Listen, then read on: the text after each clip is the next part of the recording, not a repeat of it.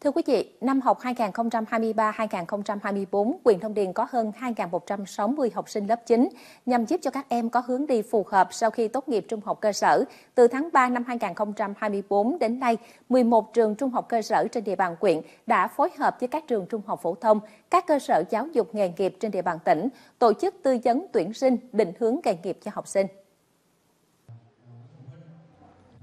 Tại các chương trình tư vấn tuyển sinh hướng nghiệp cho phụ huynh và học sinh khối lớp 9 trên địa bàn huyện Long Điền, các cơ sở giáo dục nghề nghiệp trên địa bàn tỉnh Bà Rịa Vũng Tàu đã tư vấn cách lựa chọn ngành nghề phù hợp với năng lực, sở trường và nguyện vọng của học sinh, gia đình cũng như đáp ứng nhu cầu lao động của xã hội.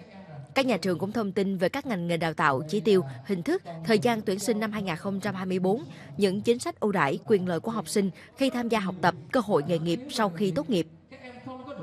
Năm học 2024 này 2025 thì nhà trường tuyển sinh là 1.160 chỉ tiêu thì à, bao gồm là 14 ngành nghề à, thuộc các cái lĩnh vực như là điện, điện tử, cơ khí, ô tô, à, công nghệ thông tin, thực phẩm, món ăn và may. Thì trong đó thì các em học sinh tốt nghiệp trung cơ sở khi đăng ký về học ở trường thì các em sẽ học theo chương trình là trung cấp hệ chính cộng. Thì chương trình hệ trung cấp hệ chính cộng này thì các em sẽ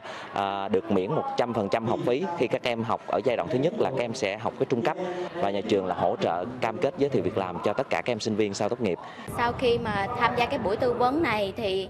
đã giúp con biết được thêm là trường công nghệ kỹ thuật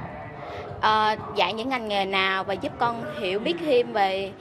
sở thích cũng như là cái ngành nghề mà mình sẽ chọn trong tương lai và đây cũng là một cái kênh thông tin giúp con có thể lựa chọn được sau khi mà con tốt nghiệp trung học cơ sở. Buổi định hướng này thì chúng con có thêm được những cái thông tin, những cái ờ, phương hướng bổ ích để cho việc lựa chọn trường và ngành nghề của mình. Hôm nay thì nó sực với cô là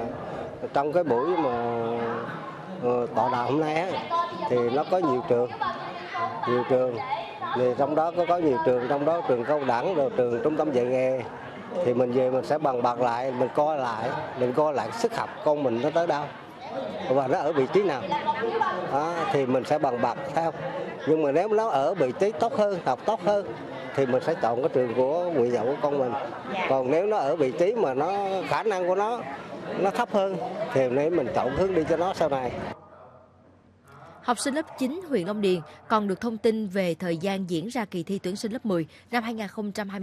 2024-2025 trên địa bàn tỉnh Bà Rịa Vũng Tàu. Chỉ tiêu tuyển sinh lớp 10 của các trường công lập, cách chọn tổ hợp môn học lớp 10 theo chương trình giáo dục phổ thông 2018.